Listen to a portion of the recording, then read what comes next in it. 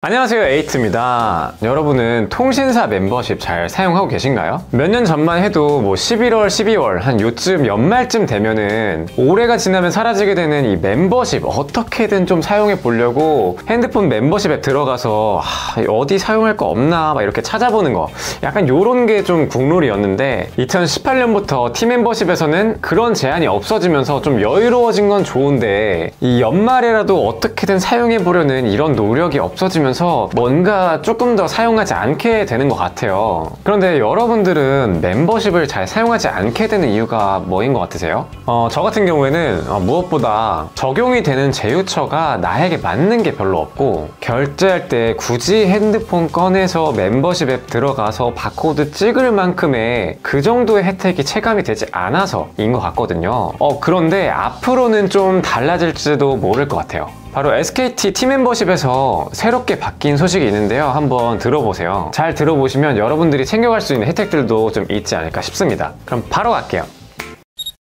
앞서 말씀드린 것처럼 제가 통신사 멤버십을 잘 사용하지 않았던 이유는 이 멤버십을 굳이 여는 노력만큼의 혜택이 체감이 되지 않았기 때문인데요. 예를 들어서 막 이런 거죠. 결제하러 갔는데 종업원이 이제 할인되는 멤버십이 있어요? 뭐 되는데요? 이거 이거 되는데요? 잠깐만요. 찾아볼게요. 쫑쫑쫑쫑 찾아보다가 어 그럼 그 중에서 내 거 통신사 멤버십이 딱 있어. 그래서 멤버십에 딱 들어갔더니만 로그인해야 돼. 잠, 아 잠시만요. 로그인하고서 있는데 비밀번호 틀렸대. 너무 오랜만에 들어가니까. 그렇게 해가지고 막 대문자 막 왔다 갔다 하고 느낌표 붙이고 골뱅이 붙이고 이렇게 해가지고 겨우겨우 로그인했는데 할인 받는 게 0.5% 1%. 야, 내가 이거 하려고 지금 이렇게 현타가 좀 오면서 그냥 다음부터 그냥 안 쓰게 되죠. 그동안 통신사 멤버십은 항상 즉시 할인형이었기 때문에 그때그때 좀 야금야금 썼어야 됐어요. 그런데 이번에 팀 멤버십이 개편되면서 적립형으로 선택을 할 수 있게 바뀌었습니다. 한 달마다 자유롭게 적립형을 선택해서 적립을 할지 아니면 기존에 쓰던 할인형으로 그대로 할인을 받을지 선택을 할 수가 있는데 아마 제 생각에는 이렇게 적립형으로 쓰는 분들이 훨씬 많아지지 않을까 싶습니다. 이 적립된 포인트로 나중 에 한 번에 결제를 다 해버리면 뭔가 왠지 공짜로 산 듯한 그런 느낌을 받을 수가 있죠. 물론 조삼모사이긴 하지만 어, 쨌든 그렇게라도 우리가 멤버십을 조금이라도 더 잘 쓰게 되면은 어쨌든 이득이잖아요. 아 그리고 적립형이 생긴 것 이외에도 제휴처가 훨씬 더 다양해졌다고 해요. 12월 T데이 해가지고 매주마다 다른 제휴처들의 특별한 혜택을 가져다 주는 것도 있고 아예 추가로 폴바셋, 피자헛, 그린카, 아고다와 같은 제휴처도 추가되었다고 해요. 어, 저 저는 그 중에서 특히 폴바셋을 좀 가장 잘 이용할 것 같네요. 이것 외에 다른 제휴처들은 어, T 멤버십에서 자세하게 확인해 보시는 게 좋을 것 같습니다. 그리고 다음으로 살펴볼 게 좀 놀랐던 건데 이번에 T 멤버십에서 좀 특이하게 바뀐 점은 바로 타 통신사를 사용하는 유저에게도 SKT의 서비스를 이용할 수 있게 열어줬다라는 거예요. T우주 라이트에 가입해서 구독 서비스를 관리하는 T우주나 아니면 미션탭 여기를 사용할 수 있게 되었는데 아마 T우주의 경우에는 관심 있으셨던 분들은 잘 아시고 지금도 사용하고 계시겠지만 이 미션 탭이라는 게 좀 생소하죠 요거는 기존에 이벤트 같은 것들을 자주 참여해 보신 분들은 바로 감이 오실 텐데 출석 체크를 통해 포인트도 획득하고 몇 가지 간단한 미션을 달성하면 도장을 모으고 그 모은 만큼 포인트를 지급받아서 할인을 받을 수 있는 거예요 쉽게 생각 생각하면 앱테크 방식의 포인트 적립 방법인 거죠. 그런데 여기서 룰렛 게임도 있는데 1등한테는 무려 3명한테 맥북 에어를 주더라고요. 야, 이거는 못 참지. 그런데 여러분, 매번 출첵하는 거 좀 까먹을 때가 많잖아요. 아니면 좀 귀찮기도 하고요. 그럴 때 스마트폰이 알아서 출첵하고 알아서 룰렛 돌리고 이러면 너무나 좋겠죠. 그래서 저는 이거를 자동으로 동작하도록 세팅을 해뒀습니다.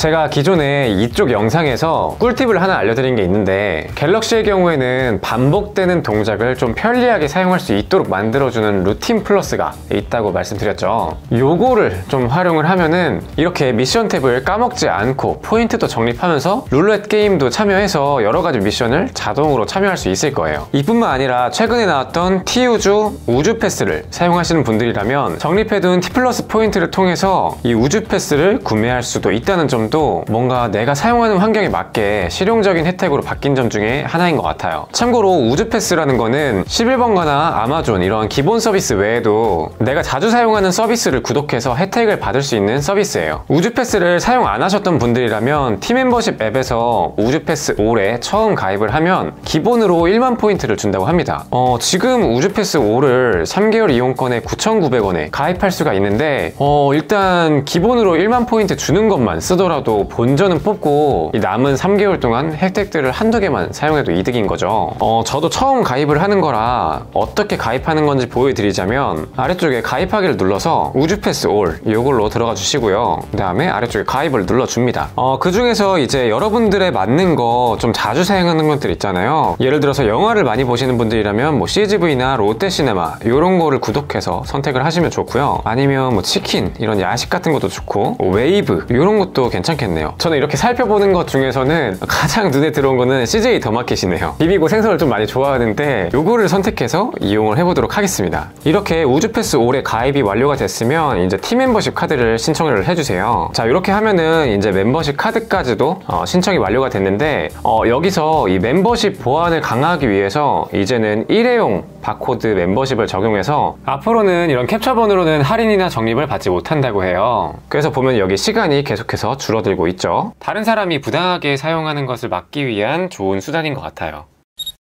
자 오늘은 이렇게 팀 멤버십 개편 소식에 대해서 알려드렸는데요. 어, 그동안 뭔가 통신사 멤버십 하면 어, 사용하긴 좀 불편하고 할인용으로 좀 야금야금 사용해야 했다. 그래서 실질적으로 혜택을 받는 느낌이 별로 없었는데 이번에 바뀐 팀 멤버십의 경우에는 이런 점을 고치기 위해서 뭐 적립식으로 이런 멤버십을 바꾼다든지 이런 등의 노력을 좀 많이 했다라는 게 느껴지네요. 그런데 뭔가 이 우주 패스부터 시작을 해서 뭐 구독이나 멤버십 서비스를 강화하고 하고 있다라는 느낌이 많이 듭니다. 아무튼 이번 영상은 여기까지고요. 제 영상이 도움이 되셨거나 에이트를 더 보고 싶다 하시는 분들은 좋아요와 구독 부탁드립니다. 감사합니다.